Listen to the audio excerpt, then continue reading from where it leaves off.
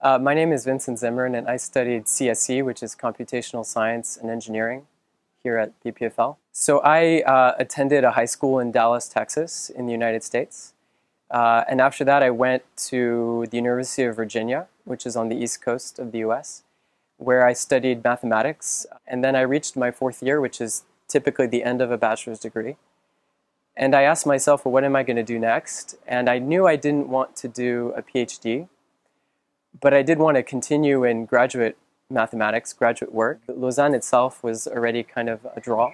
And then the, the EPFL in particular is this institution uh, that now has a worldwide reputation for being uh, a computationally uh, very active place with a lot of research going on.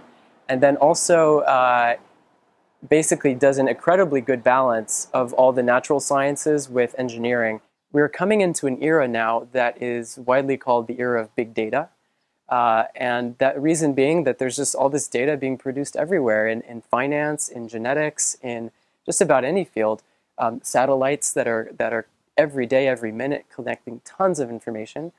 And so there's going to be increasingly a need to be able to take a computer uh, since this volume of data is far beyond what we can do with pen and pencil.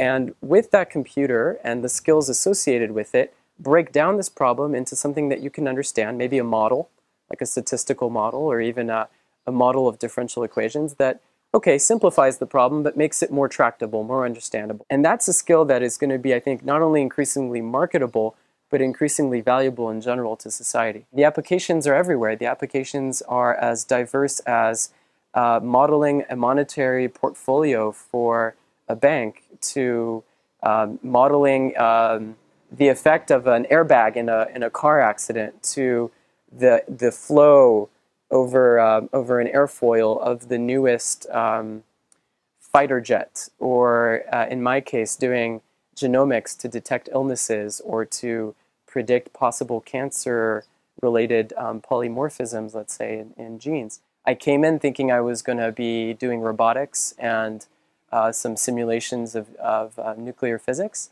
And in the end, I was doing computational chemistry and biology, so completely different. Uh, but the master's program allowed that flexibility, gave me that opportunity to steer a course that fit for me. I worked in this lab that was focused on computational drug discovery. Uh, and in this case, it was a drug that was uh, being worked on, a particular drug idea uh, and so the idea was to model at the quantum level and at the molecular level together how this drug would, would react in the body. So it's, it was a drug that was supposed to be molecularly targeted to the heart. And once it was in the heart, you would induce a chemical reaction that would release the active ingredient and then it would operate, it was nitrous oxide. And so that, that chemical would then work within the heart. Um, and it was a joint collaboration between experimentalists in Bern, at the University of Bern, and then the computational chemists here who were developing the software to see if this was even a chemically sound idea. Could this be developed any further? So I worked uh, six months on that and, and showed that it, it, was potentially possible. Unfortunately, the project kind of fell through, but it was, it was a good start. It was definitely something really interesting to see how people think through the idea of a drug first on, on a computer, how they design it, how they think about the reaction, and then go and, and try to synthesize the chemical in the lab and, and try to do clinical trials on that much, much further down the road.